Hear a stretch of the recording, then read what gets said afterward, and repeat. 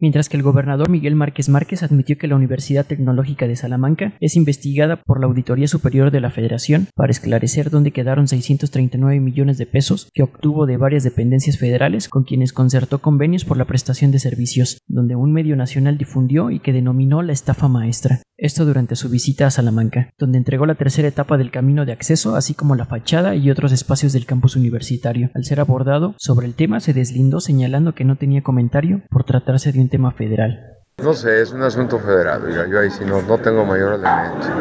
No, no tengo elementos. No, no el, gobierno del estado no abrió investigación ni... No, es que ni me corresponde, no, no, no, es un asunto totalmente federal la investigación, donde se ha logrado detectar que el recurso por diversas prestaciones derivados de proyectos y servicios realizados por maestros y estudiantes de la universidad brindó a dependencias como CFE, Conagua, Zagarpa e incluso con la Secretaría de Cultura de la Ciudad de México y hasta con pronósticos para la asistencia pública, de lo cual, a decir de la investigación, el recurso ingresó a la cuenta bancaria de una empresa. El rector Alfredo López Herrera negó que la universidad tuviera malos manejos, aunque está a la espera de que la Auditoría Superior dé su anuencia lo que hasta la fecha se desconoce si lo ha hecho.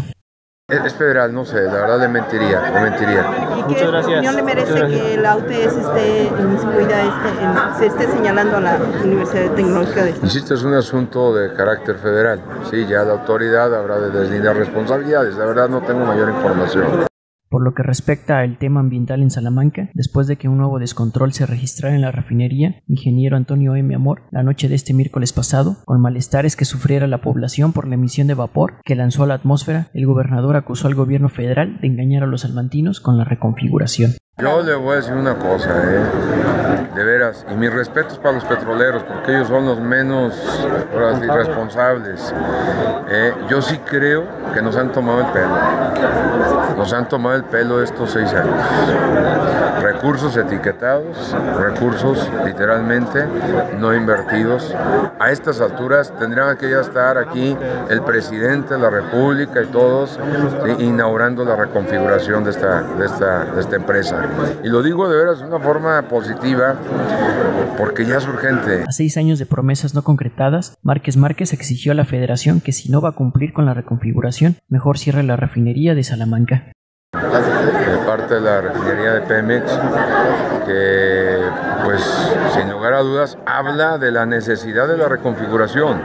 Es más, yo he dicho, o se reconfigura o que la cierren. Así, ¿eh? ¿Y qué le han dicho? Aquí el tema es pues, que la reconfiguren, que le sigan invirtiendo. Digo esto, ya los recursos, ¿sí? los recursos que han estado planteados cada año y presupuestados, yo insisto, no los he visto en la refinería no los he visto. Entonces, pues eso hace más que evidente la urgencia de la reconfiguración. Y esto es por el bien de los almantinos y por el bien de los petroleros, ¿eh? que son los que trabajan ahí, tienen que tener condiciones de seguridad y no estar bajo riesgo. Entonces, esto eh, es una clara señal de que ya no puede tardar más Pemex en esa reconfiguración. El gobernador de Guanajuato insistió que el gobierno federal ya no puede ser omiso a los incidentes registrados en el interior de Riama, con el riesgo y afectación que esto implica para su personal y para la población salmantina. Con información e imágenes de Josefina Montecillos del Salmantino, informó para TV Libertad Antonio Barajas.